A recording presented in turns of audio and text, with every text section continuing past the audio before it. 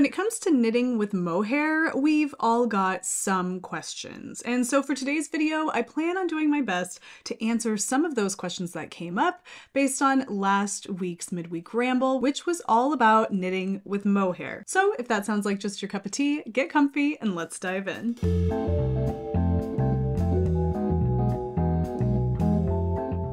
Hello, hello, hello, and welcome to the Wool Needles Hands Midweek Ramble. My name is Tayler and I will be your host. For today's video, we are exploring some questions about knitting with mohair yarn, and that would be in the form of mohair silk or mohair on its own, just anything that has to do with mohair, and then a little bit with baby Suri alpaca. You know, the floofy lace weight yarns that you pair with other wool base yarns. Last week, I shared a video on uh, last Wednesday about seven reasons that I like to knit with mohair and why you may want to consider giving it a try. And and there were lots of questions that folks still had after that video, which I absolutely love. I think it's really great when videos can be thought provoking or generate more questions, and I like to explore those questions further in future videos. And so here we are today. Dear Mohair, we have questions. I want to go over some of the questions that were asked in, well, as many of the questions that were asked in the last uh, midweek ramble video as I can and provide some insight, possibly some answers, and maybe even ask some additional questions here in this video. So I'm hoping that by the end of this video, you take away a little bit of additional insight, a little bit more information, and overall just become a little bit more of an informed maker when it comes to mohair and then possibly baby Suri alpaca as well. Now, before I get started, because I think it may be asked and I think it's really cool when it is, I am wearing a Felix pullover today. This is a very heavily modified Felix pullover that I knit a few years back. I knit this using Plötulopi by Istex, which is unspun Icelandic wool, and I paired that with a strand of kid mohair and silk by Fiber for the People. I talk about this sweater in the last midweek ramble last week, so you can watch that and learn a little bit more. But that is what I have on today, and I'm wearing it with a long sleeve turtleneck underneath because it's still pretty chilly outside, and I have a really hard time wearing this next to skin. Um, and, and that has much, almost entirely to do with the Plötulopi, much more so than the mohair. The mohair is actually rather soft. So that's what I have on today. I will link to my Ravelry page for this down below in the description box. Okay, so what I've done here is I filtered out the comments from that video to show me just comments that have questions, and then there were a few comments that slipped by that filter, so I'll grab some of those as well. And I'm going to do my best to answer as many of these as possible, or at least to provide some additional insight. If you have additional insight that you can lend to any of this these questions here, drop them down below in the comments. Okay, the first one I have here is from Rula Wellington. It says, I've heard that knitting with mohair held with another yarn can cause certain designs like cables and textures to be less well defined. Would you say there is any truth to this and possibly why that might be? Thanks. Yes, I would say that there is absolutely truth to this. Now, that doesn't mean that you should abandon any prospect of knitting cables or lace work with mohair. I think that you really need to do what inspires you. But if your goal is to make sure that the cables or the lace work or the stitch pattern really is the star player and that that is very defined and crisp, then you're going to want to knit with anything that has a really hairy fiber, meaning you want to avoid anything that's going to have any kind of a halo.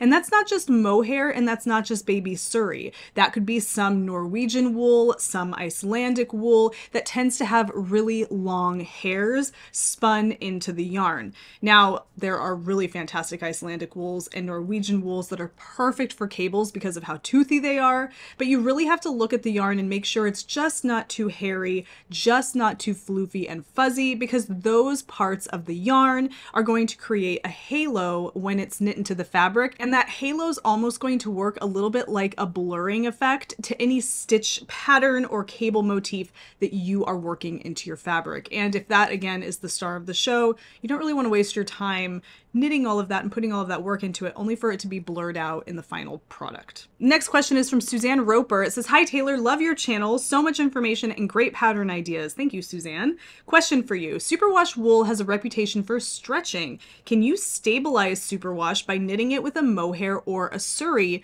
which I think are not stretchy? Will the mohair silk or alpaca silk blend be able to make the superwash behave? Thanks in advance for your answer.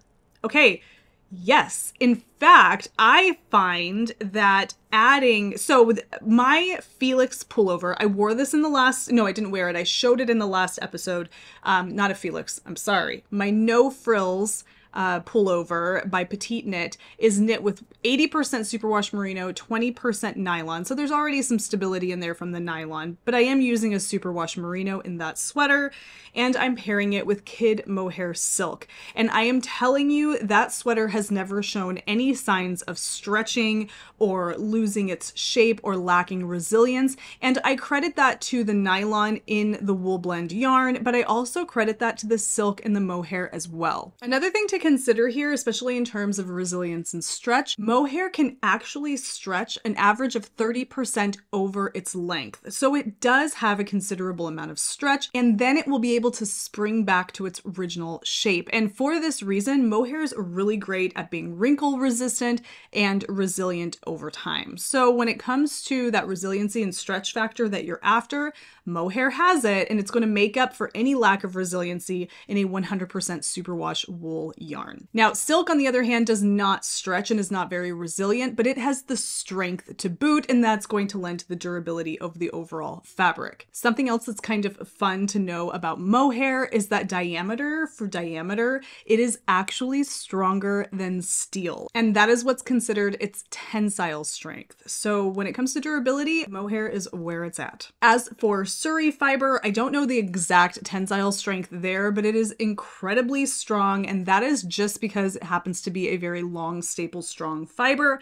Not necessarily anything to do with the diameter, but you are going to get that durability and the benefits of that durability, even if you're using a baby Suri alpaca blended with silk. Now, Suri, however, is not stretchy and is not resilient. So even though a Suri silk blend is going to add to the strength of the fabric created with a superwash yarn, it's not going to contribute to the resiliency. So if you're looking for resiliency and stretch and snap back and you want to add that back into the fabric because you know that that's not going to be there with the superwash yarn, your safer bet is to go with the mohair silk blend. However, when it comes to durability, both of those fibers are exceptionally strong. Okay, Andrea Miller 6200 asks, so timely for me. I've just received a sweater quantity of knitting for Olive, which will be fingering paired with mohair. Woohoo!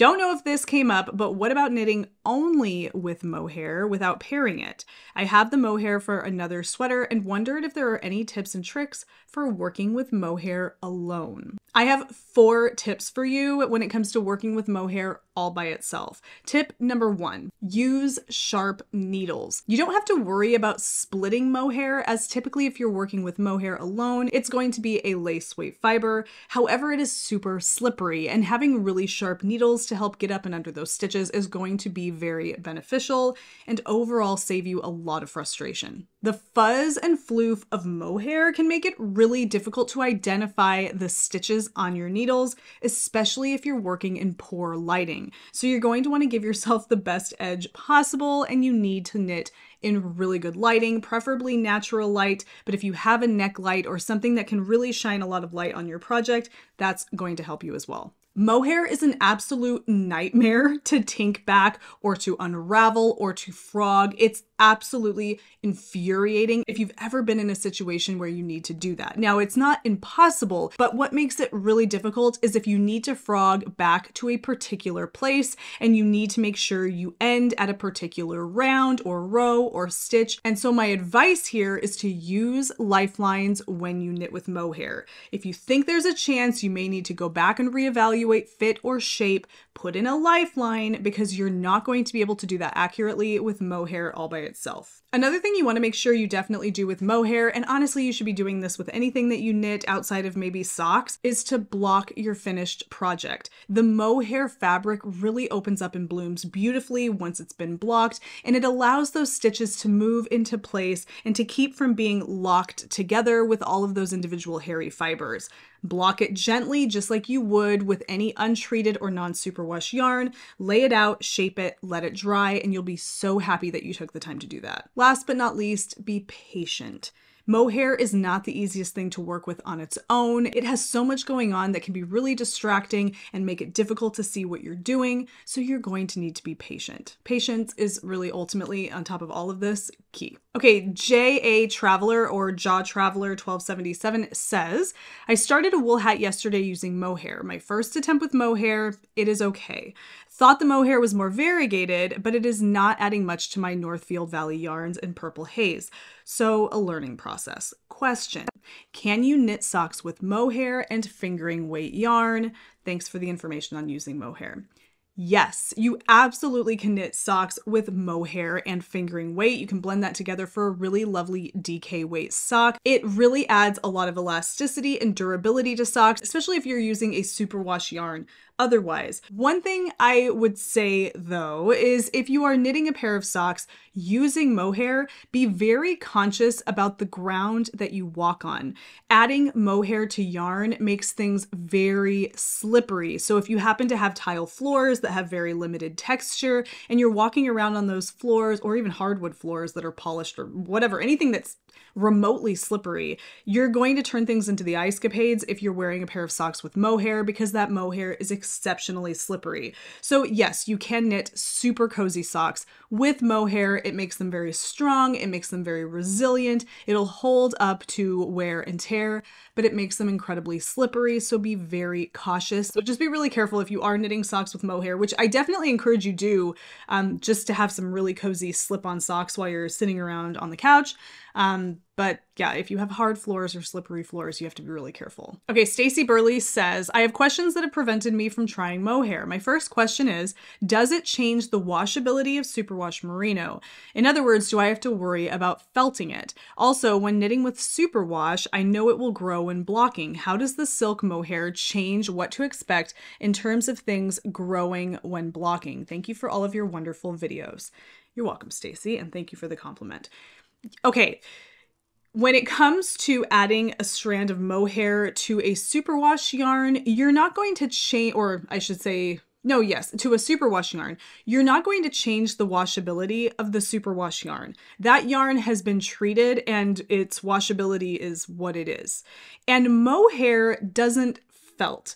Now, you could over stimulate the mohair or agitate the mohair and cause the little hairy fibers to become much more tufted and less soft and floofy, but you're not going to felt the mohair, and that mohair is not going to cause the superwash yarn to felt, even though I don't think that was the question. What you are possibly impacting is the overall washability of the fabric you create with the superwash yarn and the mohair.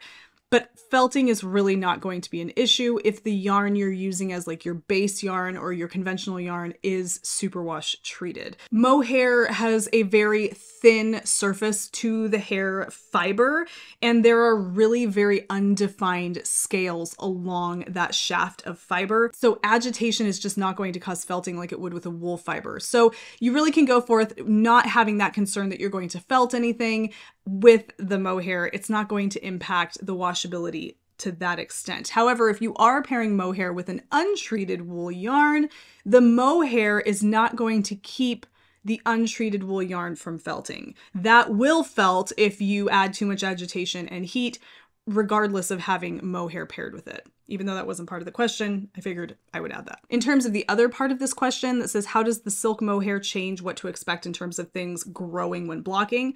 You're really adding a lot of resilience to your project by adding mohair to superwash yarn, like I mentioned earlier. So if you're worried about a superwash yarn growing or stretching and you could add a strand of mohair to it, up the weight of the overall yarn a little bit, you're going to be saving the overall finished item from that fate. So adding that mohair and silk to a superwash yarn is really going to do a lot to help prevent stretching or losing shape in the future. Okay, this question is unrelated to mohair, but I'm going to answer it really quick. It says, off topic, I can see your spinning wheel in the background. It's right there.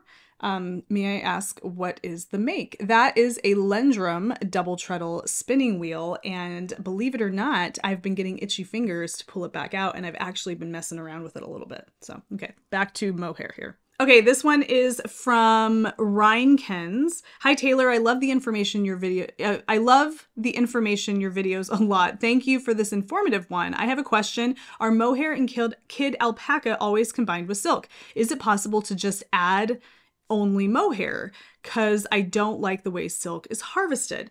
It is not always combined with silk. And if you have any kind of reservations about using silk for whatever the reason, there are options out there for you that are combined with nylon, some that are combined with a really fine, thin strand of merino wool, and some that are combined with acrylic. So they are not always combined with silk. I know that the company Hobbii has a couple of options that do not use silk, but if you were to Google kid mohair yarn without silk, you're sure to find options that have the same characteristics of yarn in terms of the weight and the overall look, but minus the silk content. And you're gonna save some money.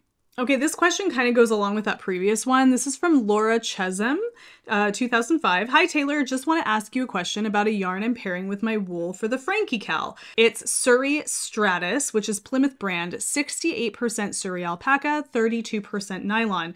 It seems to be compatible with the, page, the Patons wool. My local yarn store recommended it because when I purchased it, my thought was that I didn't want to spend a lot on a sweater. Completely understand that. I thought I might um, I thought I might mess up. However, I'm loving it, but now I'm worried about the nylon content. What are your thoughts, by the way? It was $7, so I thought it was a good quality for not a great deal of money. Like I said before, if you want to save some money, but you don't want to sacrifice the durability and the resiliency um, of a mohair yarn, and you still want that mohair content in there, finding one that's paired with nylon is perfect. It's absolutely perfect. If that fits your budget, it's going to look fantastic and it's a really great alternative if you want to avoid using silk. Okay, the next question I have here, I cannot for the life of me find it. Um, it was there and I read it before filming this, but I'm going to answer it here anyway. And it was something to the effect of the quality and the price of various different mohair yarns and why one particular mohair might be more or less expensive than another and why one particular mohair might be more coarse and itchy than another. And this is a thing. There are qualities of mohair, and it is going to dictate the price and then obviously the texture and the feel against your skin. Now, one thing that you really have to understand is that mohair comes from the Angora goat, and the younger the goat is, the more fine and soft the fiber. If you are purchasing a mohair yarn and it says specifically on the label that it contains a certain percentage of kid mohair, you are purchasing the softest, most fine mohair on the market. However, if the yarn band just says a particular percentage of mohair, you are not getting kid mohair. You're getting the mohair from an older goat, which means it's going to be more coarse. It's going to be a little bit more scratchy. The quality and durability and all of that, well, I shouldn't say the quality. The quality in terms of fineness is different. The durability is still the same. However, you just may find that it's not as nice to wear next to skin. So yes, there is a big difference in quality. If you want the softest mohair possible, you're going to want kid mohair, which is shorn from a young Angora goat. Okay, the last question that I'm going to answer here, and this might be one that prompted you to click on this video in the first place if you were looking at the thumbnail. And this is regarding the ethical treatment of the goats in order to produce mohair yarn. Um, let me see if I can find. Okay, it says from Christine Givens Tayler, is there such a thing as ethically sourced mohair, one that does not compromise the animal at all? I live in the UK and have access to Knitting for Olive, but when I googled mohair, it said there is no such thing as ethical mohair. Would love your thoughts. Okay, so this is a question. I feel like you could ask this same question about any fleece or fiber animal in terms of is there such a thing as ethical merino wool? Is there such a thing as ethical Peruvian highland wool? Is there such a thing as ethical alpaca and ethical cashmere and all of these various different things? Because when it comes to the ethics of this you're getting into animal welfare, animal husbandry, the treatment of animals when shearing their fleeces, and all of that comes into question, as it rightfully should. And those things are really important to consider. However, it doesn't matter whether you're talking about mohair or cashmere, the same question can be asked, and similar answers are going to come of those questions. Are there instances where mohair fiber or the fleece from a sheep are shorn in a way that compromises the well being of the animal? Yes, there absolutely are instances of that, and there are reasons why those types of things happen. For example, when you pay a shearer by the hour versus paying them by the number of animals they're shearing, you have opportunity for fewer of those situations because they're being paid by the hour no matter how many animals they shear. They're going to be more careful because there's less concern for getting as many shorn in um, an amount of time as possible. Whereas if you're paying them per animal, they want to shear as many animals as they can before the sun goes down or before they can no longer shear anymore, because that's ultimately what's going to be lining their pocketbook. And so these kinds of things can dictate when or the potential for the mistreatment of the animals. It's not in the best interest of any farmer or producer of fiber to compromise their animals. It's not in the best interest because those animals cost them a lot of money and they want to make sure that they are taken care of so that they continue they can continue to use them to produce the fiber. Now, of course, animals can reach a particular age where they can no longer produce fiber of a quality and then there's that. But it's not in the producer's best interest to put these animals at risk. That's something to consider. Does that mean that in every instance animals are just treated with the utmost quality? I can't guarantee that and I don't have an answer for you and that's why this has become a topic of discussion is because they're trying to make these sorts of practices much more transparent. Another thing when it comes to this that I I tend to kind of know a little bit about but I have my own questions is when they're asking these questions, and I'm, I'm not meaning this person asking a question here, but when this topic comes up, I tend to think that a lot of this is directed at the mass produced fashion industry and textile production for that industry, not necessarily the production of yarn for crafters and knitters. Now, I'm not saying that it doesn't happen in that production. I'm just saying that if it's going to happen, chances are it's happening in a different market than what we are working in. So, for example, if you're going to go purchase a skein of kid mohair silk from Fiber for the People, uh, for example, I can tell you that my supplier ensures and provides information um, certifying that they pr- they source all of their fiber and all of their yarn from places that use ethical practices and maintain the highest of standards for animal welfare. So I can tell you that because I'm more in communication with my supplier. And I feel like the chances are that any yarn purveyor is going to be very similar um, because the market's different. But when it comes to the things that you're reading on the internet, when you Google mohair and you see things that PETA are, you know, putting out there to inform people, I have to think that a lot of that is being directed towards the mass produced produced fashion industry, and it's just something to consider. So, when it comes to whether or not there is such a thing as ethically sourced mohair, yes, there absolutely is. And you can do your own research and dig around as much as you can. You can email, you know, yarn dyers or companies that produce or sell yarn. You can ask them and they should be able to tell you. Um, but that's hard to do. it's hard to do for everything that you purchase. Now, you can do it, and I'm not saying that you shouldn't, but you do have to decide at the end of the day if that's what you're willing to do or if you would rather just not use it at all. And that choice is yours. And that's the beauty of the situation. Now, one place that you can look, and I don't know how many producers or textile companies or clothing companies or whoever is is seeking out the certification. But there is such a thing as the responsible mohair certification kind of like the global organic textile standard. It's a certification that you can receive if you are a producer or a retailer of mohair that lets your consumers know or your customers know that you do uh, strive to meet the high standards of ethical mohair practices and this and that. And you can look this up. You can go online and Google the standard and see which companies fall underneath that umbrella. For me, at the end of the day, when it comes to the way I look at it, um, I'm wary about some of the textiles that are produced for the mass, you know, fashion industry so I would be very much less likely to purchase a sweater containing mohair from a mainstream retailer than I would have any qualms about purchasing a skein of mohair yarn from a yarn retailer. I recently purchased two cashmere sweaters from the company Madewell. And the reason I purchased these cashmere sweaters um, was, well, number one, they're cashmere sweaters and they're absolutely beautiful. But something that really pushed me over into purchasing them is that they were made from recycled cashmere, which I really, really love because there is so much cashmere textile in the world that is not being used for clothing or anything for that matter that can be repurposed into beautiful cashmere sweaters. I love when I see that. I would far rather do that than purchase a brand new cashmere sweater.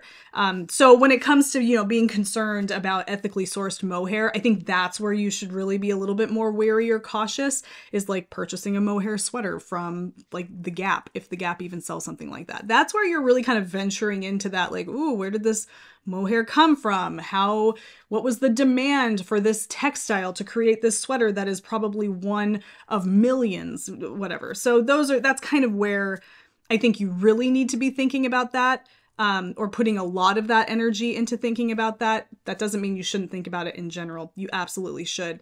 Um, and do some additional research. But to answer the question, to keep it short and sweet, is there such a thing as ethically sourced mohair? Yes, absolutely, especially when it comes to yarn that you're purchasing for knitting. Um, I don't worry too much about that. And I do care an awful lot about these sorts of things, but I feel I feel confident that you don't need to worry so much about the yarn that you're purchasing from yarn retailers, even those yarn retailers that tend to be much bigger in terms of scale. Any additional insight anyone has um, that you would like to provide down below in the comments, please understand not everybody is vegan, not everybody chooses to completely forego using animal products. And so it's okay to emphasize that you feel that that's important, but don't belittle anybody or make somebody feel less than because they choose to use products from animals. Um, that's not what the comment section is for. However, if you do have some additional insight into this particular question that is fact based and can provide us with some information, making us more informed consumers, I welcome that in the comment section. So thank you so much in advance. Well, folks, that is it. That's all I have for today. I think I hit most of the questions, unless some questions have come up since I've recorded this, but that was really great. I kind of like these videos, well, not kind of like, I really like these videos that are like, you know, X topic, we have questions. I don't know if you're into that, but there are some of these, like I did short rows, dear short rows, I have questions. And I think it's kind of cool because it sheds light on the questions we all have and I love to do the legwork to find some answers to provide you guys with some additional insight. So if you like this format, I would love to keep doing it. I feel like there's lots of opportunity for it. It's just a good time overall. But for now, I think that's all I have. If you took value from today's video or enjoyed yourself at any point, please don't forget to give the video a thumbs up. Definitely subscribe and click that bell icon so you can be notified anytime I upload new content here on the channel. I want you to benefit from the content here on the channel, so definitely subscribe. And until I see you again for Sunday's episode of the podcast, Happy knitting, happy making, happy whatever it is that you're doing. Take care, be well, and I will see you soon. Bye.